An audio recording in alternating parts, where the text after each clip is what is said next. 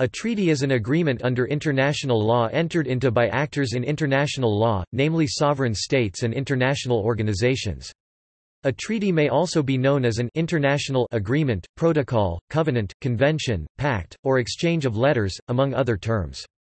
Regardless of terminology, all of these forms of agreements are, under international law, equally considered treaties and the rules are the same. Treaties can be loosely compared to contracts, both are examples of willing parties assuming obligations among themselves, and any party that fails to live up to their obligations can be held liable under international law.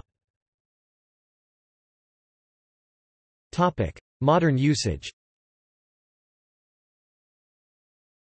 A treaty is an official, express written agreement that states use to legally bind themselves. A treaty is the official document which expresses that agreement in words, and it is also the objective outcome of a ceremonial occasion which acknowledges the parties and their defined relationships. Modern form Since the late 19th century, most treaties have followed a fairly consistent format.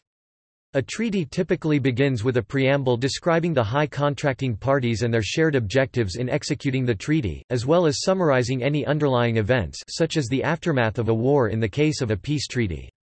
Modern preambles are sometimes structured as a single very long sentence formatted into multiple paragraphs for readability, in which each of the paragraphs begins with a gerund desiring, recognizing, having, and so on.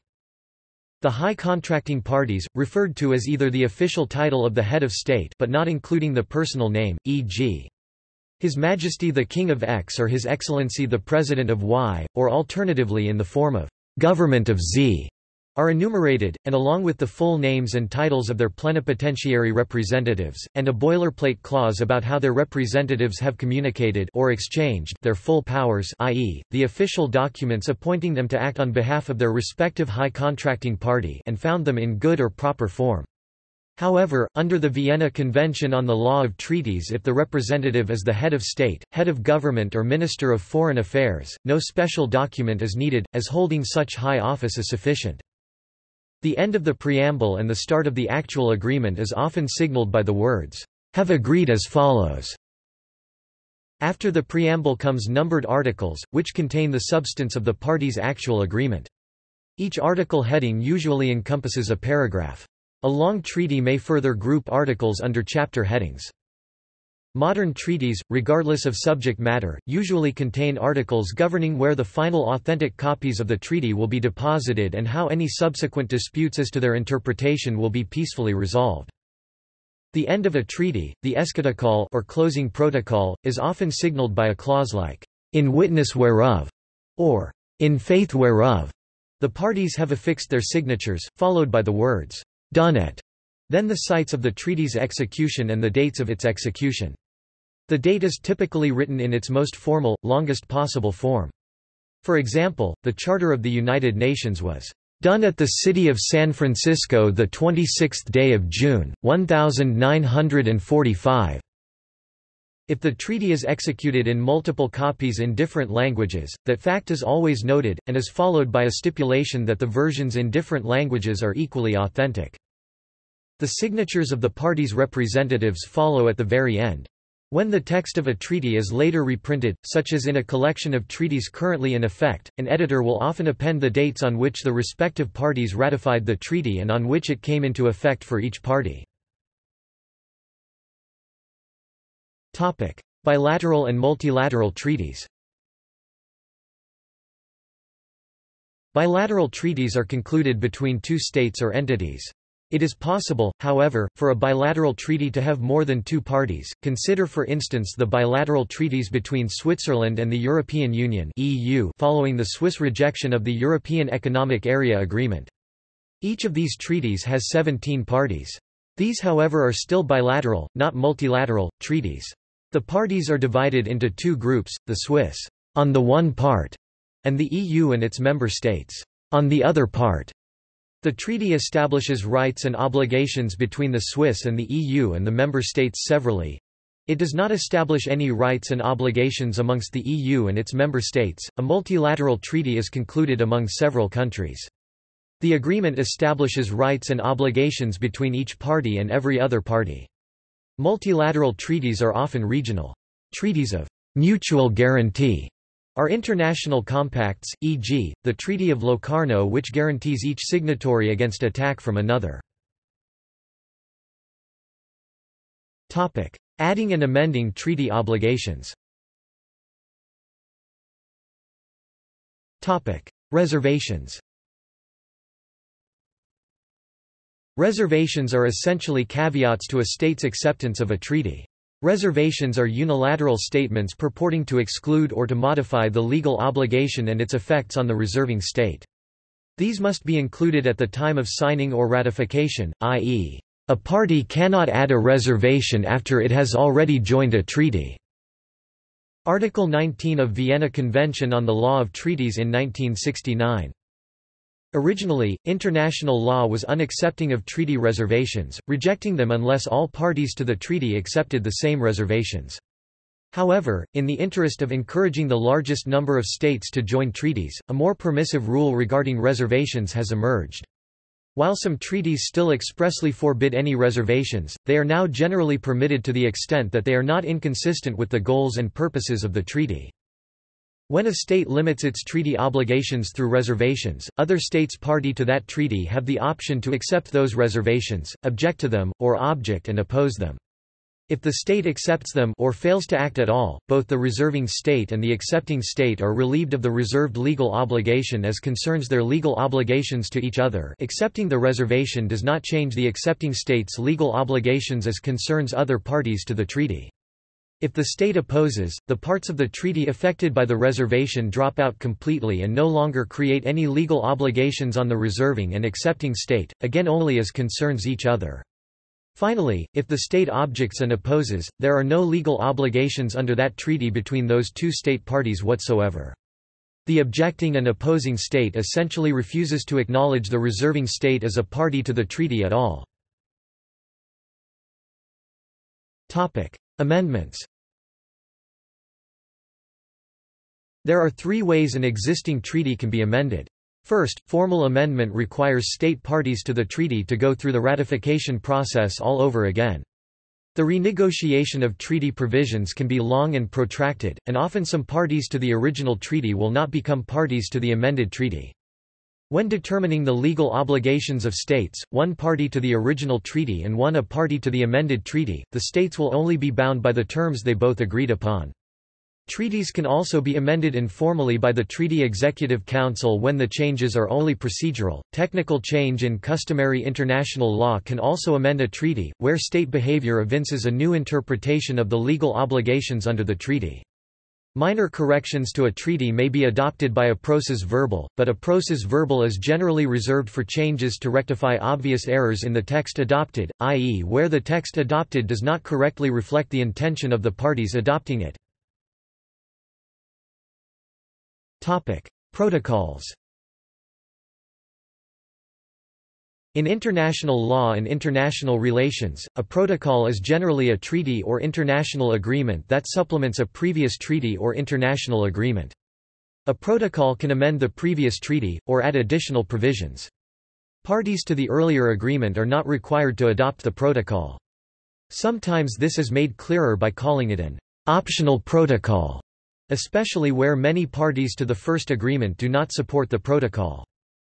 Some examples, the United Nations Framework Convention on Climate Change UNFCCC established a framework for the development of binding greenhouse gas emission limits, while the Kyoto Protocol contained the specific provisions and regulations later agreed upon.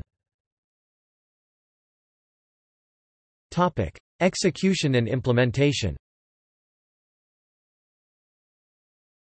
Treaties may be seen as self-executing, in that merely becoming a party puts the treaty and all of its obligations in action.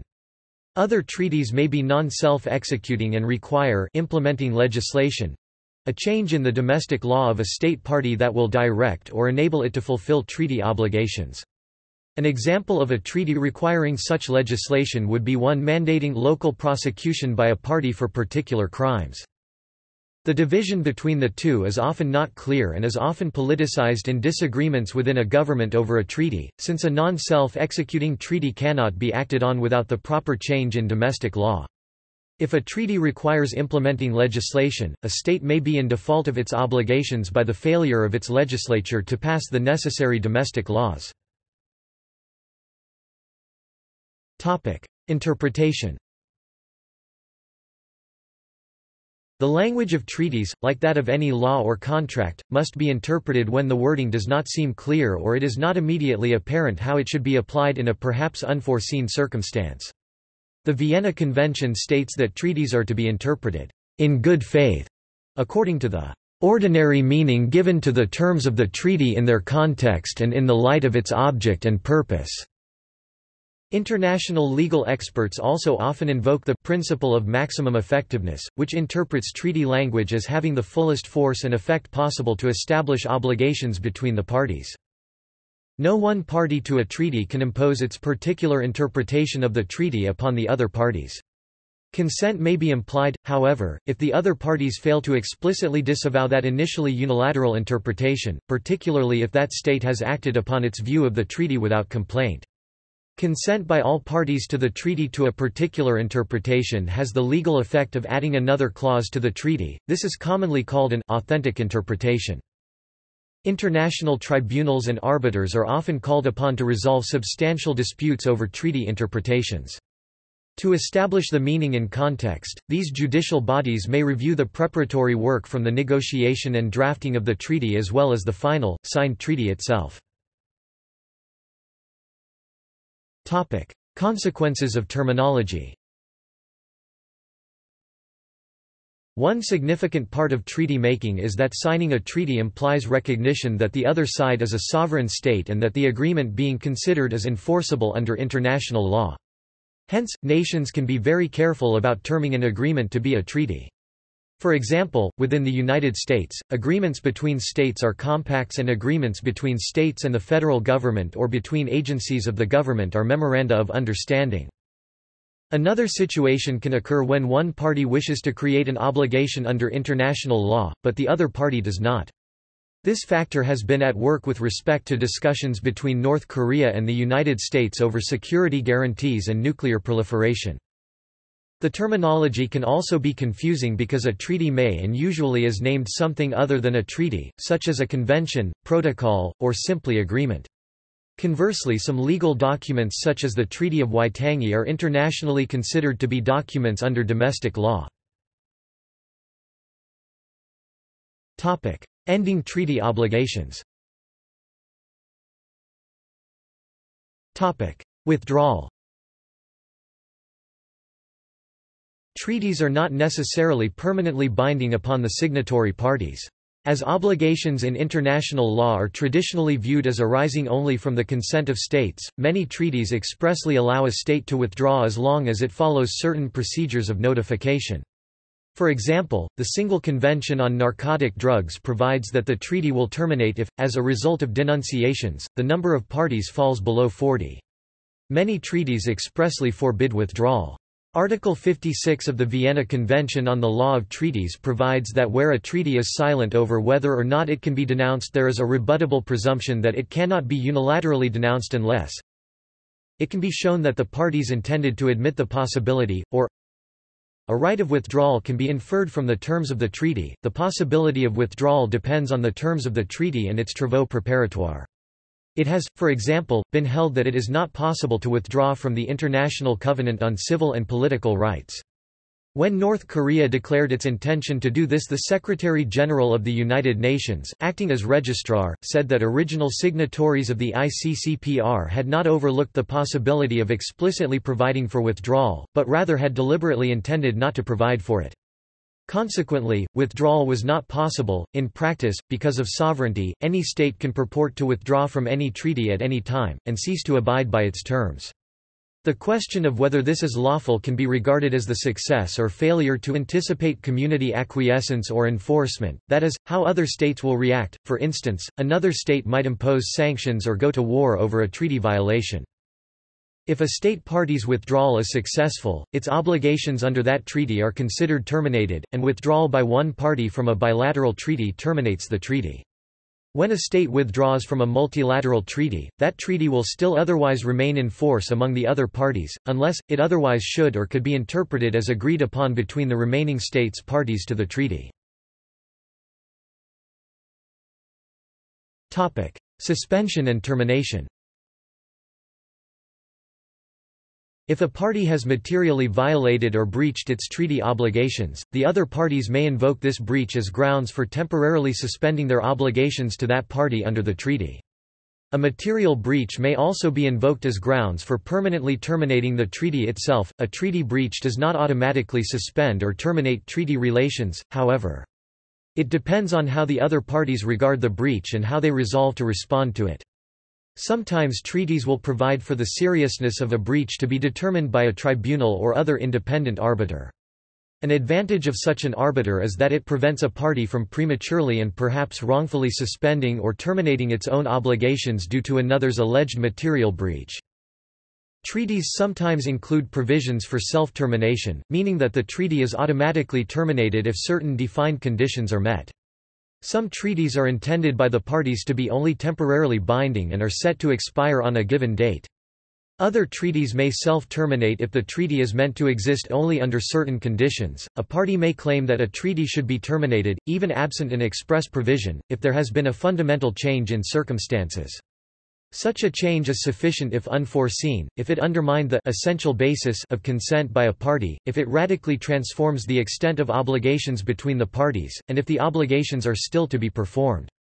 A party cannot base this claim on change brought about by its own breach of the treaty. This claim also cannot be used to invalidate treaties that established or redrew political boundaries. Invalid treaties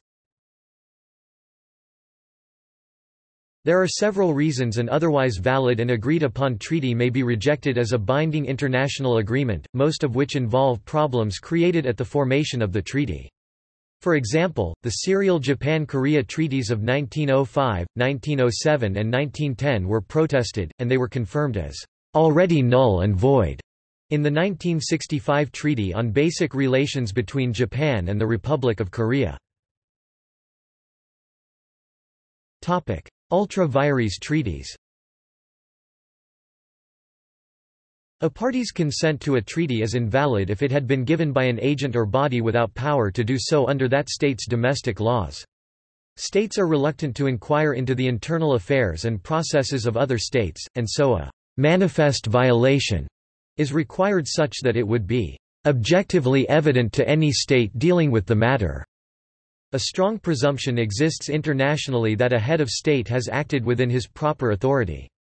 It seems that no treaty has ever actually been invalidated on this provision. Consent is also invalid if it is given by a representative who ignored restrictions he is subject to by his sovereign during the negotiations, if the other parties to the treaty were notified of those restrictions prior to his signing. According to the preamble in the Law of Treaties, treaties are a source of international law. If an act or lack thereof is condemned under international law, the act will not assume international legality even if approved by internal law. This means that in case of a conflict with domestic law, international law will always prevail. Misunderstanding, fraud, corruption, coercion Articles 46 to 53 of the Vienna Convention on the Law of Treaties set out the only ways that treaties can be invalidated considered unenforceable and void under international law. A treaty will be invalidated due to either the circumstances by which a state party joined the treaty, or due to the content of the treaty itself. Invalidation is separate from withdrawal, suspension, or termination addressed above, which all involve an alteration in the consent of the parties of a previously valid treaty rather than the invalidation of that consent in the first place. A state's consent may be invalidated if there was an erroneous understanding of a fact or situation at the time of conclusion, which formed the essential basis of the state's consent. Consent will not be invalidated if the misunderstanding was due to the state's own conduct, or if the truth should have been evident. Consent will also be invalidated if it was induced by the fraudulent conduct of another party, or by the direct or indirect corruption of its representative by another party to the treaty. Coercion of either a representative, or the state itself through the threat or use of force, if used to obtain the consent of that state to a treaty, will invalidate that consent. Contrary to peremptory norms A treaty is null and void if it is in violation of a peremptory norm. These norms, unlike other principles of customary law, are recognized as permitting no violations and so cannot be altered through treaty obligations. These are limited to such universally accepted prohibitions as those against the aggressive use of force, genocide and other crimes against humanity, piracy, hostilities directed at civilian population, racial discrimination and apartheid, slavery and torture, meaning that no state can legally assume an obligation to commit or permit such acts. Role of the United Nations The United Nations Charter states that treaties must be registered with the UN to be invoked before it or enforced in its judiciary organ, the International Court of Justice. This was done to prevent the proliferation of secret treaties that occurred in the 19th and 20th century. Section 103 of the Charter also states that its members' obligations under it outweigh any competing obligations under other treaties. After their adoption, treaties as well as their amendments have to follow the official legal procedures of the United Nations, as applied by the Office of Legal Affairs, including signature, ratification and entry into force. In function and effectiveness, the UN has been compared to the pre-constitutional United States federal government by some, giving a comparison between modern treaty law and the historical Articles of Confederation. Relation between national law and treaties by country Australian law The Constitution of Australia allows the executive government to enter into treaties, but the practice is for treaties to be tabled in both Houses of Parliament at least 15 days before signing. Treaties are considered a source of Australian law but sometimes require an Act of Parliament to be passed depending on their nature. Treaties are administered and maintained by the Department of Foreign Affairs and Trade, which advised that the General position under Australian law is that treaties which Australia has joined, apart from those terminating a state of war, are not directly and automatically incorporated into Australian law. Signature and ratification do not, of themselves, make treaties operate domestically. In the absence of legislation, treaties cannot impose obligations on individuals nor create rights in domestic law. Nevertheless, international law, including treaty law, is a legitimate and important influence on the development of the common law and may be used in the interpretation of statutes. Treaties can be implemented by executive action, and often, existing laws are sufficient to ensure a treaty is honoured. Australian treaties generally fall under the following categories, extradition, postal agreements and money orders, trade and international conventions. Brazilian law The Federal Constitution of Brazil states that the power to enter into treaties is vested in the President of Brazil and that such treaties must be approved by the Congress of Brazil Articles 84, Clause 8, and 49, Clause I. In practice, that has been interpreted as meaning that the executive branch is free to negotiate and sign a treaty but that its ratification by the President requires the prior approval of Congress. Additionally, the Supreme Federal Court has ruled that after ratification and entry into force, a treaty must be incorporated into domestic law by means of a presidential decree published in the Federal Register for it to be valid in Brazil and applicable by the Brazilian authorities. The court has established that treaties are subject to constitutional review and enjoy the same hierarchical position as ordinary legislation leis ordinarias, or ordinary laws in Portuguese. A more recent ruling by the Supreme Court of Brazil in 2008 has altered that somewhat by stating that treaties containing human rights provisions enjoy a status above that of ordinary legislation, subject to only the Constitution itself. Additionally, the 45th Amendment to the Constitution makes human rights treaties approved by Congress by a special procedure enjoy the same hierarchical position as a constitutional amendment. The hierarchical position of treaties in relation to domestic legislation is of relevance to the discussion on whether and how the latter can abrogate the former and vice versa. The Constitution does not have a supremacy clause with the same effects as the one in the U.S. Constitution, which is of interest to the discussion on the relation between treaties and legislation of the states of Brazil. India In India, subjects are divided into three lists, union, state and concurrent. In the normal legislation process, the subjects on the Union list must be legislated by the Parliament of India. For subjects on the state list, only the respective state legislature can legislate. For subjects on the concurrent list, both governments can make laws.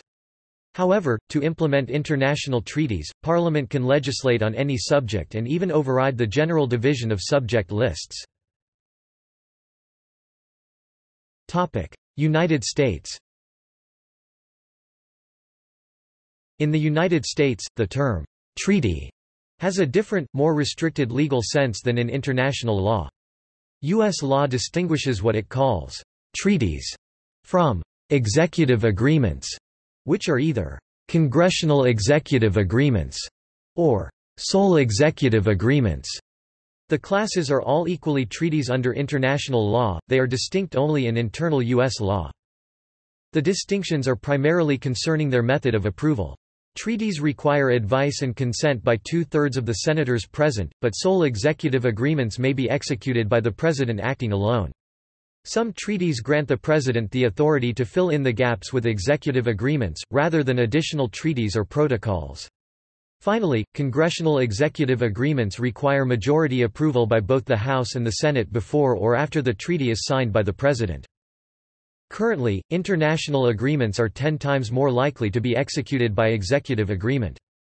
Despite the relative ease of executive agreements, the President still often chooses to pursue the formal treaty process over an executive agreement to gain congressional support on matters that require the Congress to pass implementing legislation or appropriate funds as well as for agreements that impose long-term, complex legal obligations on the U.S. For example, the deal by the United States, Iran, and other countries is not a treaty.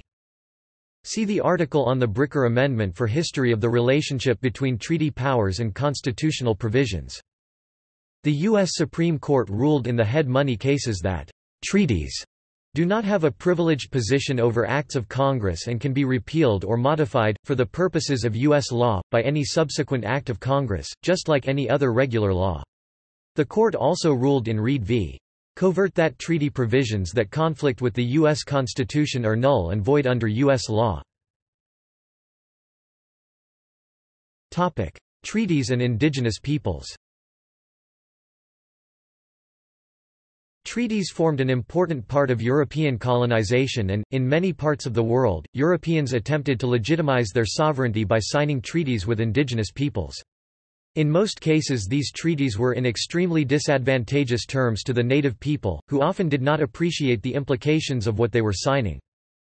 In some rare cases, such as with Ethiopia and Qing dynasty China, the local governments were able to use the treaties to at least mitigate the impact of European colonization. This involved learning the intricacies of European diplomatic customs and then using the treaties to prevent a power from overstepping their agreement or by playing different powers against each other. In other cases, such as New Zealand and Canada, treaties allowed native peoples to maintain a minimum amount of autonomy. In the case of Indigenous Australians, unlike with the Maori of New Zealand, no treaty was ever entered into with the indigenous peoples entitling the Europeans to land ownership, under the doctrine of terra nullius later overturned by Mabo v Queensland, establishing the concept of native title well after colonisation was already a fait accompli. Such treaties between colonizers and indigenous peoples are an important part of political discourse in the late 20th and early 21st century. The treaties being discussed have international standing as has been stated in a treaty study by the UN. Prior to 1871, the government of the United States regularly entered into treaties with Native Americans but the Indian Appropriations Act of March 3, 1871 ch. 120, 16 stat. 563 had a rider 25 USC section 71 attached that effectively ended the president's treaty making by providing that no Indian nation or tribe shall be acknowledged as an independent nation, tribe, or power with whom the United States may contract by treaty. The federal government continued to provide similar contractual relations with the Indian tribes after 1871 by agreements, statutes, and executive orders. See also. Peace Treaty. Foedus Jus Tractatuum. List of intergovernmental organizations. List of treaties. Manrent feudal Scottish clan treaty. Supranational Union. Treaty ratification. Vienna Convention on the Law of Treaties. Topic. Notes